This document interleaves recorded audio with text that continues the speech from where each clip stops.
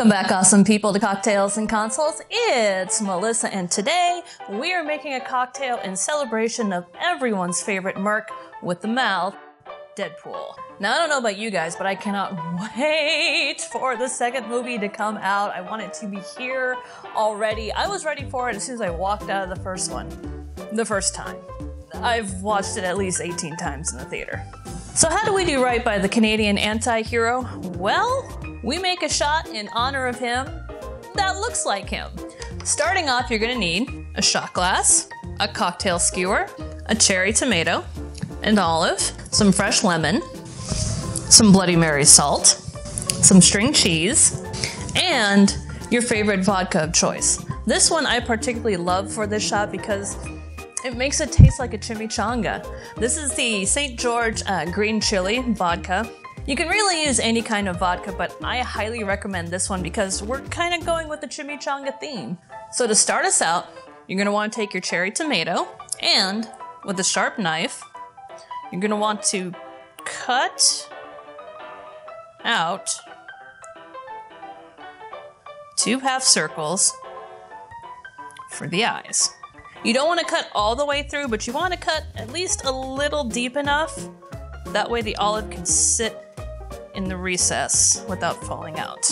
It also gives you the chance to take out some of the seeds if you don't like the tomato seeds. Make sure to leave enough in the middle that the tomato's gonna hold together. It's really hard to do with two cameras. Next, take your pitted black olive.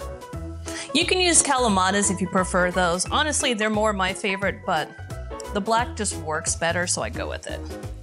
And you're gonna wanna split that in half. Taking your first half, you're going to want to stick that into the tomato as far down as it's gonna go. You're not looking to get the whole thing into the tomato, just enough until it hits flush that you can come in with your knife and trim off the excess. There you go. Then just mimic the same thing on the other side. You're gonna wanna make sure your knife is good and sharp because this is a little delicate work. There we go. And now we have just enough room to put in the eyes. You can completely omit this step if you're not a cheese fan. There you go. Now we have our Deadpool face. Now we take our skewer and you're going to want to measure whereabouts on the glass you're going to want your Deadpool face to land. We're about halfway down the skewer. I like to take this on the diagonal so everything sticks in place. Just so. And then we stick that in the glass. I got him a little crooked, so he looks a little sad. Now that our Deadpool is finished, we're going to want to rim our shot glass by using just a wheel of lemon. Take your rimmed glass and pop it into the Bloody Mary salt. You're not going to want too much, otherwise, this is going to be very, very salty. Now we take our Deadpool, put him into our glass. Now, for the vodka part, take your lemon, and we're gonna squeeze that, hopefully not all over myself, into our shaker of ice, because we're gonna wanna chill this a little bit. Then take your vodka, pour in about a two ounce shot, and give it a shake. You don't want it too icy cold, just a little cold. And finally, pour into our glass.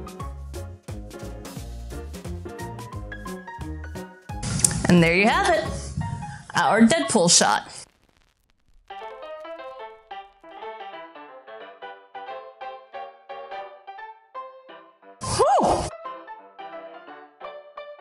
That'll wake you up. You're gonna find the tomatoes and olives work really, really well with the vodka, because especially tomatoes have compounds in them that only alcohol can actually release. So, bonus. Well, thank you so much for joining us. If you make this shot, please take a picture and please send it to me on Twitter. I absolutely love it when you guys make these. It just makes me so happy. Also, you can join us on our live playthrough of Deadpool the game on Saturdays. The link will be over here for the playlist. Cheers!